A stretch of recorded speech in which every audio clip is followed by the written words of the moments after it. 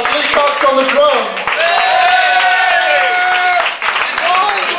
And that's the man who only had two rehearsals before joining us on stage tonight. That's Mr. Paul Holden on the bass.